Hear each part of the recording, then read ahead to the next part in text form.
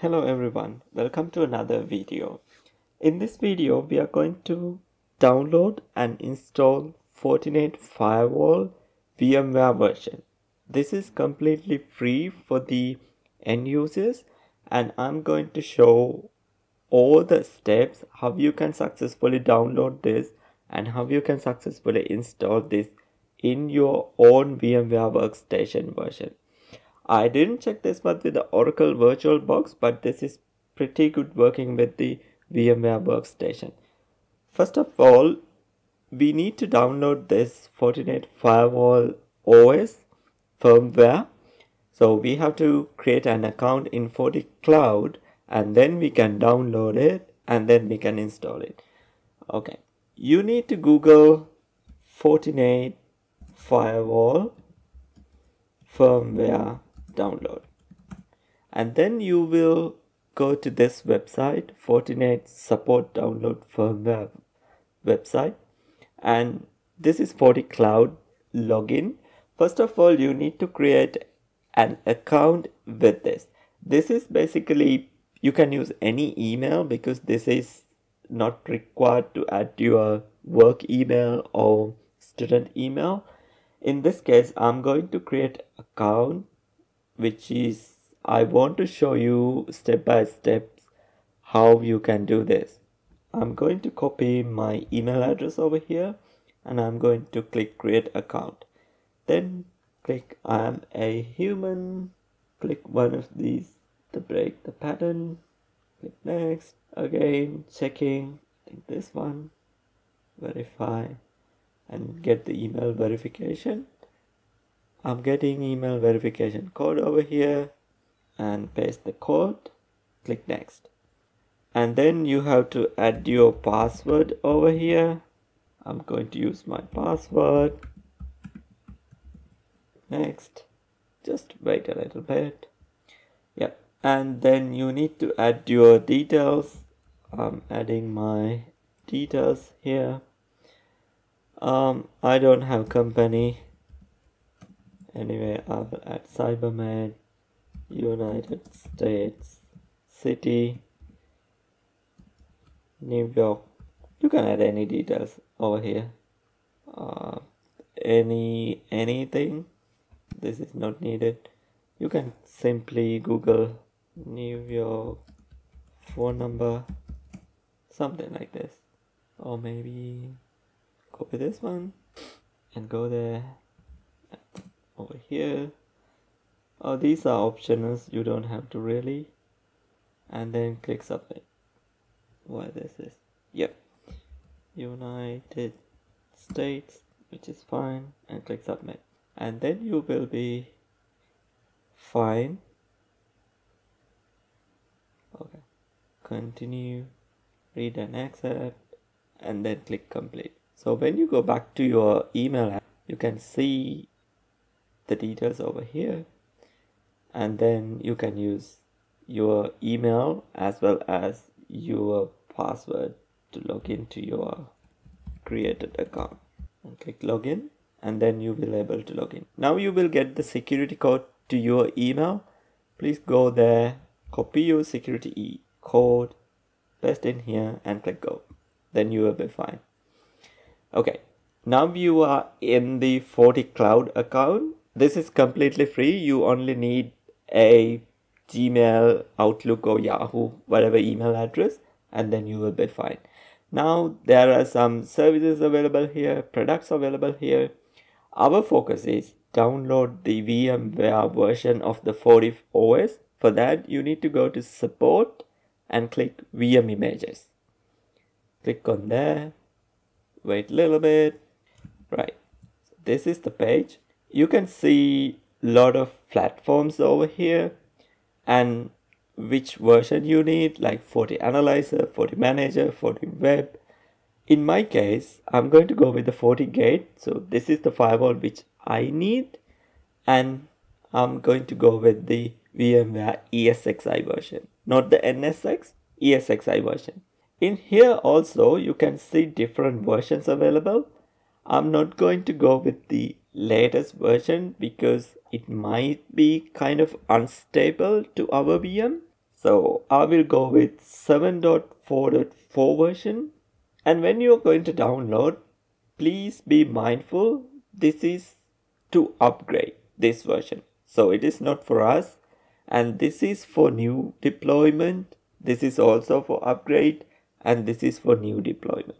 I'm going to download this one because I need kind of bit old version because I'm thinking those versions are stable. I know there are still some bugs might be available, but this is for our lab setup, which is totally fine. I will click download and it will ask where to download. I will give my download folder here.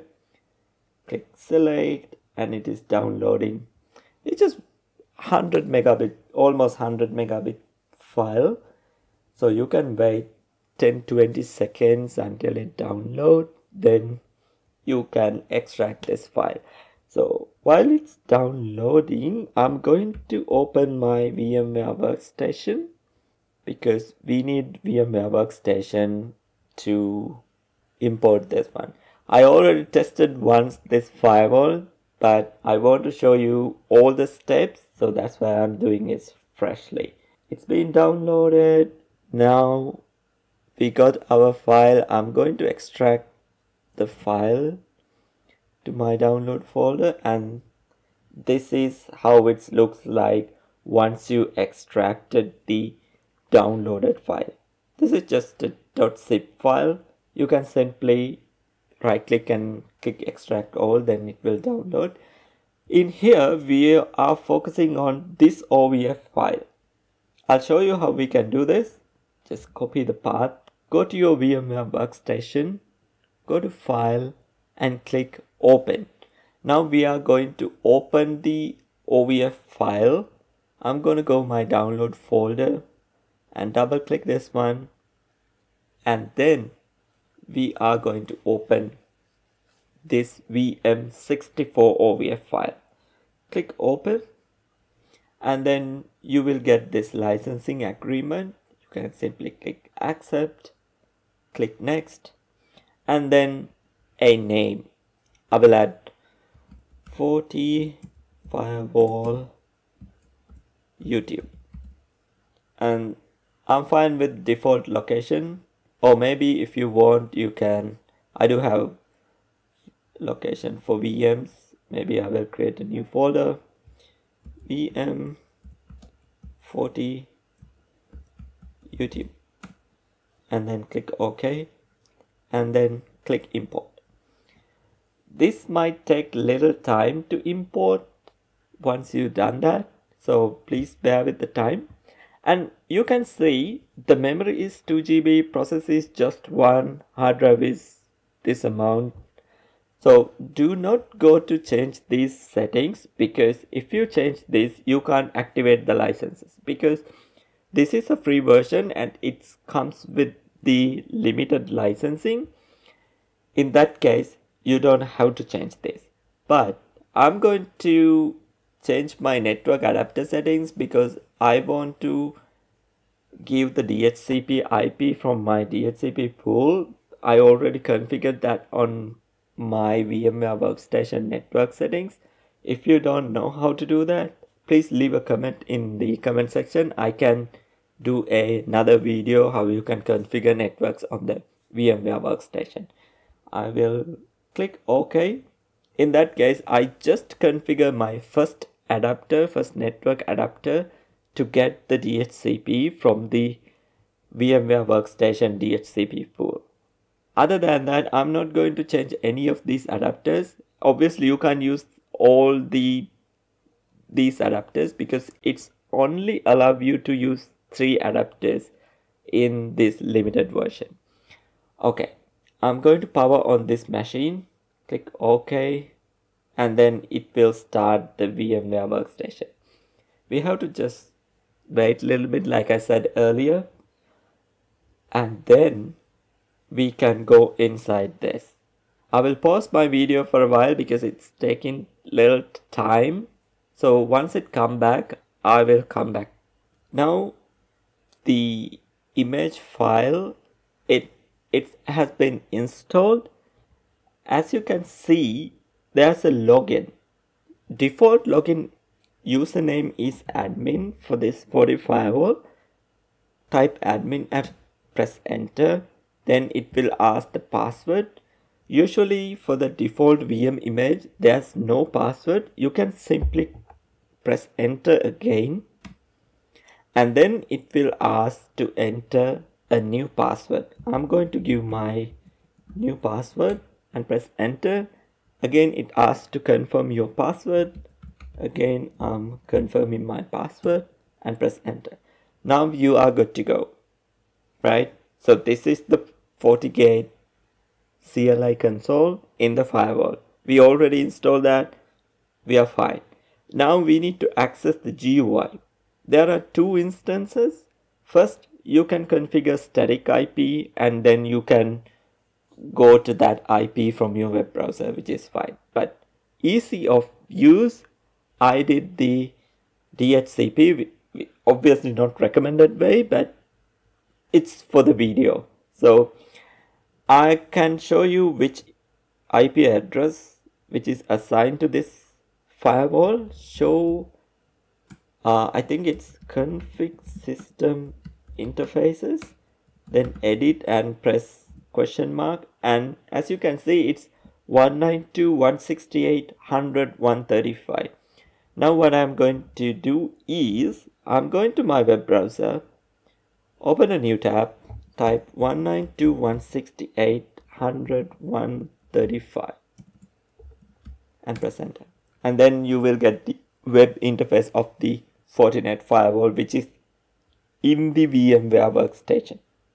username is admin and the password which you have added in the CLI and press enter. As you can see there are licensing file upload space here also FortiFlex token there and evaluation licenses. So in this free version we can use the evaluation licenses because it's free. And as you can see these licenses can be used with these limited steps or limit with the limited features boundary. If you want more details you can go to this page. I will put a link in the description. You can definitely have a look. Now i'm going to add my email address i'm going to use the email address which i used to create this account because this is the email address we need to add over here right? And the same password for that account. And click OK. And then in the same time when you click OK you can see this VMware workstation is going to reboot. Click OK and you can see it is requesting the trial licensing over here in the VMware workstation and once it requested if the VM can reach the internet, it will go ahead to the cloud and register your licenses and reboot the VM and then you can start configure the VM. This also might take little time. Sometimes some users get some issues with registering this one. In that case, for the forum have several posts you can troubleshoot those things. I will try to post those links as well if anyone got any issues, but I haven't got any issues when I was testing my first VM. So hopefully this one also would be goes well, but let's see. Looks like it might take little time. So I'm gonna post my video and I'll come back once it's done.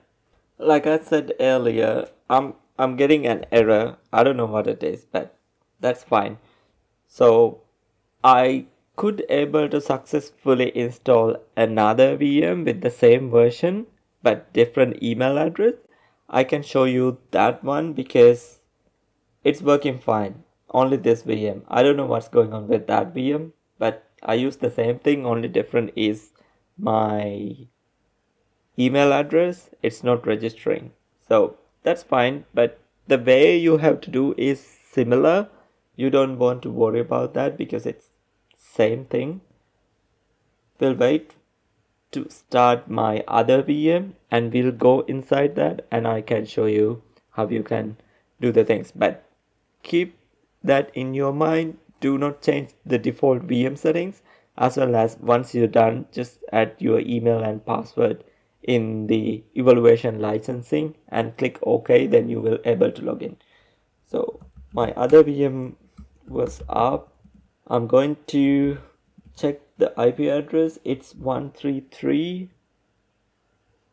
over here 133 admin and my password and there we go. We are in. This is the firewall interface. One once you have configured the evaluation licensing.